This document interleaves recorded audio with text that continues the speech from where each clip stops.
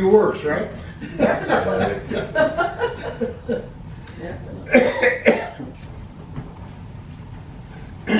Good morning, church. Morning. Morning. Let's uh, stand for prayer and then we'll, we'll have our pledge of allegiance to the flag.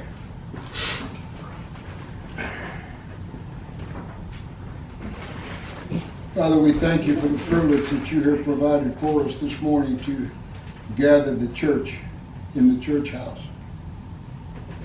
We still have the freedom and the security and, and, and the peace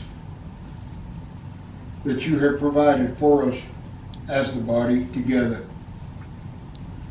We realize that we are in an ever darkening world, but you have called us to be salt and light to this darkening world. And by your grace and your mercy and who and what you are, we will continue to take it one step, one foot at a time. And we will continue to give you the honor and the glory that is yours. For all of this, Father, we ask in the powerful, matchless name of our Lord, our Savior, and our Redeemer, Jesus Christ, that he might be honored and glorified. And all of us together say, Amen. Amen. I pledge Pledge allegiance to the flag of the United States of America and to the republic for which it stands, one nation, under God, indivisible, with liberty and justice for all. Thank you. Well,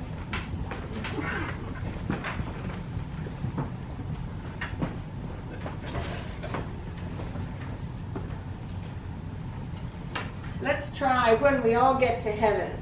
It's number 78. thank you. You're welcome.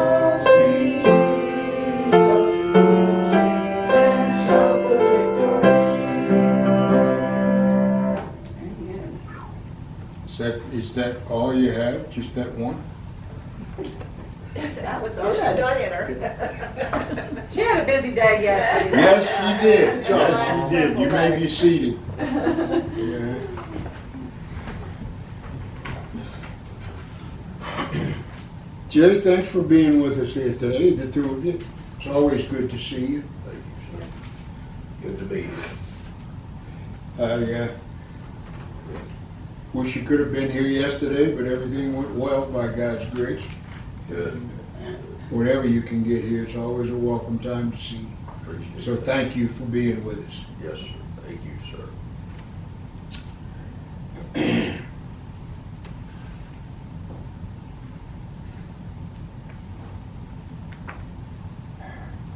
We, uh, we buried my son yesterday, and uh, we had a celebration of life. And uh, so we're, we're still kind of, anyway, we'll get through this too, won't we? The Word of God is alive and powerful, and it's sharper than any two-edged sword, piercing even to the dividing asunder of soul and spirit, and joints and marrow, and is a discerner of thoughts and intents of the heart. Study to show thyself approved unto God, a workman that needeth not to be ashamed, rightly dividing the word of truth. Let's open God's Word this morning to 1 Thessalonians. 1 Thessalonians chapter 4.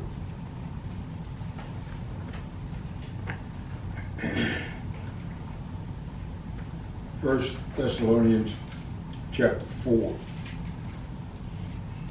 If you will, please, let's, uh, let's start at, at, at verse 12, chapter 4.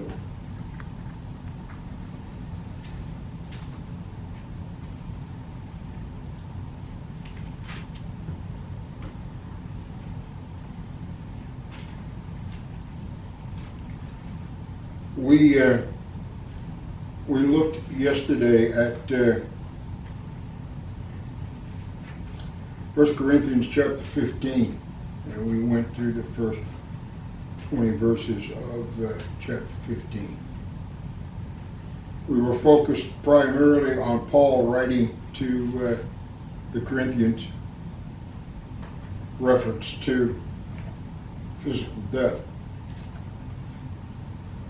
They uh, were having a problem not only with physical death, but they were focusing on the uh, the resurrection resurrection of the dead.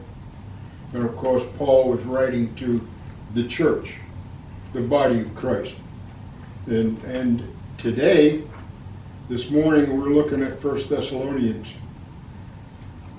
And I want us to kind of put it together, as it were. Um,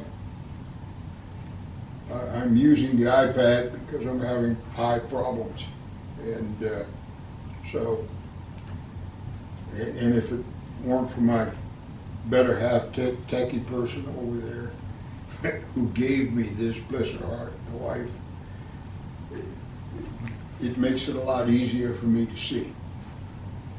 But anyway, the fourth chapter reads as follows. And I guess if we had to subtitle this, it, it would be a brotherly and orderly life. And, and Paul is writing to the church at Thessalonica. And he says to them, But concerning bodily love, brotherly love, he says, You have no need that I should write to you, for you yourselves are taught by God to love one another. And indeed, you do so great.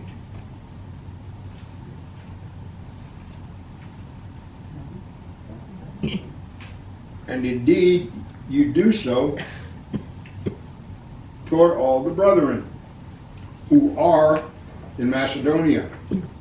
But we urge you, brethren, that you increase more and more, that you aspire to live a quiet life, to mind your own business, to work with your hands as we commanded you.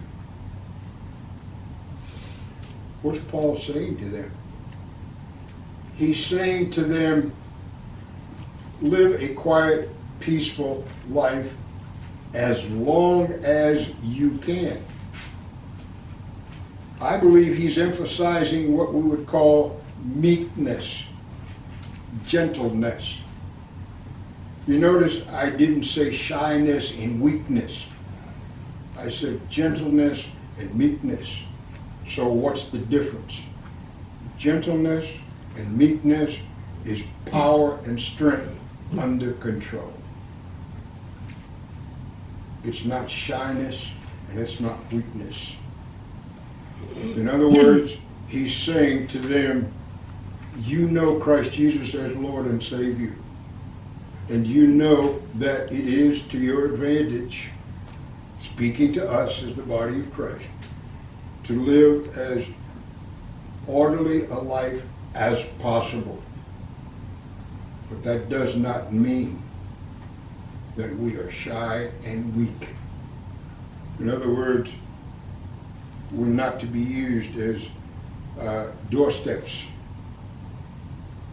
So he goes on to say that you may walk properly toward those who are outside, and that you may lack nothing. Now, he goes uh, down a little further, and he says, But I do not want you to be ignorant. Now, let me. let me- I'm having fun with this thing. Uh, let, allow me to use the term ignorant. That, that's not something that is insulting. It simply means that I do not want you to lack knowledge in a given area. There are multitudes of things that we, as the body, are ignorant of or have a lack of knowledge of. For example, I'm not an electrician. Uh, I'm not about to do anything that pertains to electricity, because electricity will bite you. There's no question about that. So, when it comes to things like that and the knowledge thereof, I, I'm, I'm going to make contact with a couple of friends that I know that are master electricians. So that's what he's saying. I do not want you to be uninformed or ignorant, brethren, concerning those who have fallen asleep. Now, we said yesterday, and we say again, fallen asleep deals with physical death. And he's saying to them, I want you to be informed about those who those who have died physically.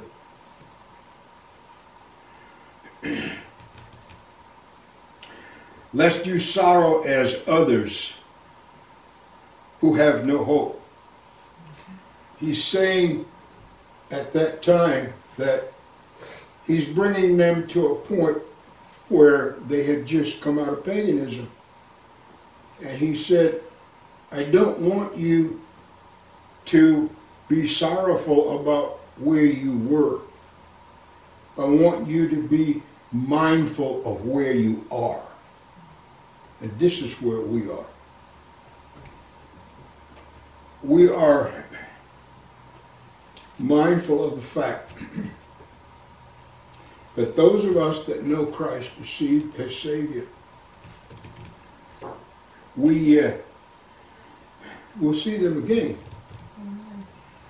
And uh, the separation between us and them is temporal.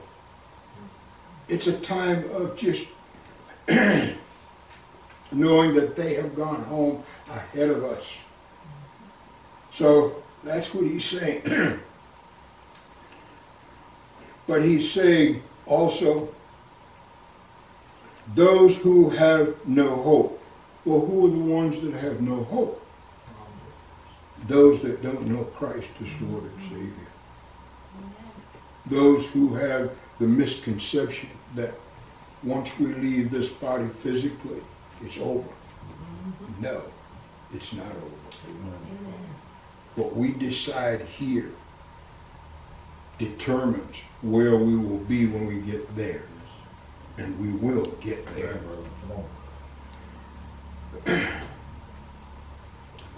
For if we believe that Jesus died and rose again, even so, God will bring with him those who sleep in Christ, in Jesus, those who have died knowing Christ Jesus as Lord and Savior. He's beginning to focus on the rapture of the church, and he's laying the foundation, as it were. For if we believe in Jesus, if we believe that Jesus died, which he did, if we believe that he was raised again, which he was, even so, God will bring with him, Christ Jesus, those who sleep in Christ Jesus or who have died in Christ Jesus. So they. Then he says, For this we say to you, we being Paul the apostle, to you who are the recipients of the church, by the word of the Lord, the scriptures, that we who are alive and remain until the coming of the Lord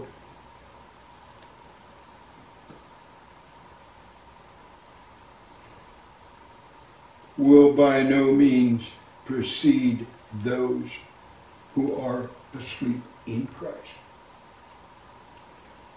He is speaking of the fact that the Christ will return. He will come to get the body of Christ, which is us. And he's saying to them, those who have died that know Christ as Savior, even though they are asleep, when Christ comes, they will arise first because they are in Christ. What's going to come out of that? The resurrection body. And the soul and the spirit will be united with the resurrection body. So that's why we can say we'll see them again. Amen. We will see them again. In the meantime, those of us who are here, the heart gets heavy. And there are times of, of great grieving. There are times when your heart hurts. And there is something about grieving. The memories will come unannounced. They will come at times when, when things are quiet and peaceful. And you think in your mind, I wish I had said, but then again, it really isn't necessary because we can at one day say what we wanted to say. For the Lord himself would descend from heaven with a shout. He's coming to get the church. With the voice of the archangel and with the trumpet of God. And the dead in Christ will rise first. Then we who are alive and remain shall be caught up. That's the resurrection. Mm-hmm. In the Greek, the word is harpazo. And I've heard folks say, well, there is no resurrection in the Bible. Really? Nothing speaks of the rapture. Really? Not according to what we just read. It says, Then we who are alive and remain shall be caught up together with them. Who is them? Those that are alive, that have died and have risen first. And he has come to get the church. And those of us who are alive will be caught up and changed. So we go home with them. He said to the apostles, Don't let your heart be troubled. You believe in me, believe also in God. I go to prepare a place for you. For in my Father's house are many dwelling places. I will come again. And you will be unto me. Then we who are alive and remain shall be caught up together with them in the clouds to meet the Lord in the air. And those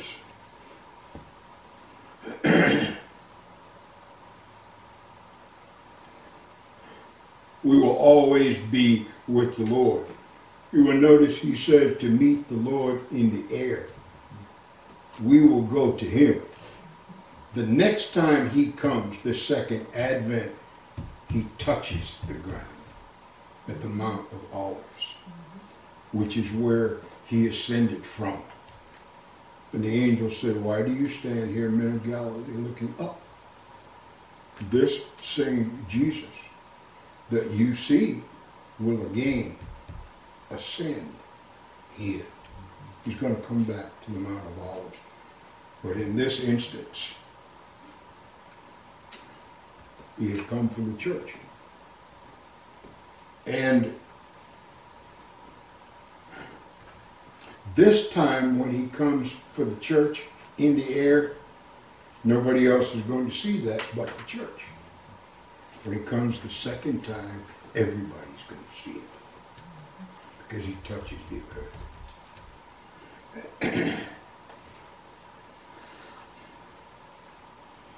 in the clouds to meet the Lord in the air, and thus we shall always be with the Lord. Therefore, comfort one another with these words. With these words. With these words. With the word. How much time do we have? I wouldn't dare insult you by giving you a date. But I can tell you this. We should be. And if we are ready to go when he comes, it doesn't matter when he comes. Amen. We know why he's coming, and we know he's coming. That's right. So that means we must be ready. Amen. And if we're not ready, you're already too late. Because by the time we realize, or they realize, that the church has been raptured, we're gone. Mm-hmm. In a twinkling of an eye. Yeah. I can't imagine that speed. Mm-hmm. In a twinkling of an eye.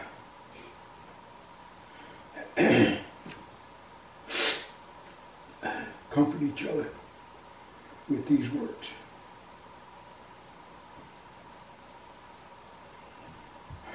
Let's bow together, shall we? Father, we thank you for this time. And we thank you for your inerrant, immutable word. We thank you for who and what we are as the body of Christ. And we know that I, without a doubt, that we are who and what we are because of who and what you are. What we have as the body of Christ, so great salvation, is nothing that we need to earn, nor that we deserve. It's not who and what we are. It's who and what you are. It's the atoning work of the Christ on the cross that we are the recipients thereof. We thank you, Father, for this, this time together, this time to look into your immutable, inerrant word. We thank you, Father, that you would undergird and strengthen us and grant us the privilege of taking this portion of your word and making it a source of challenge and blessing. We pray you would enable, Father, to allow us to meditate and concentrate and absorb and retain on your word and us being the recipients of so great salvation. For all of this, Father, we ask in the powerful and matchless name of our Lord, our Savior, and our Redeemer, Jesus Christ, that he might be honored and glorified. And all of us together say, Amen.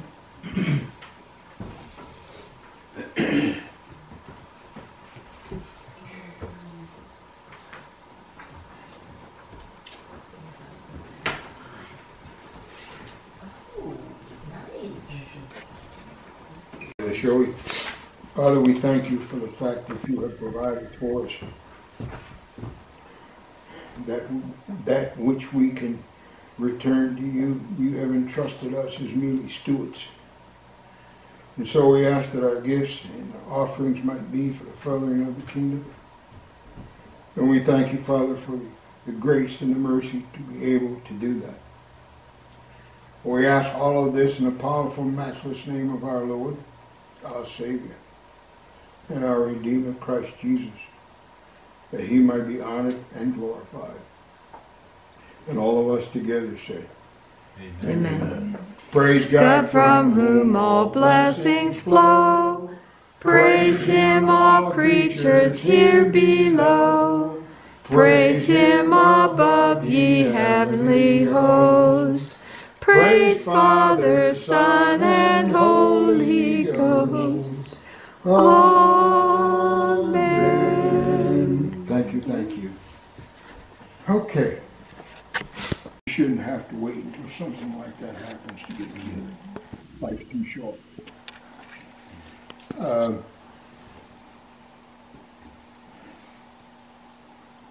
I was extremely gratified to have all the family together, all of the family together.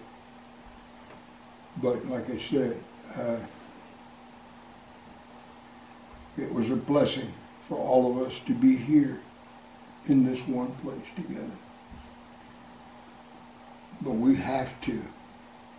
We have to be able to come together more often as family. Because just because we're here for breakfast doesn't mean that we'll be here for lunch. So,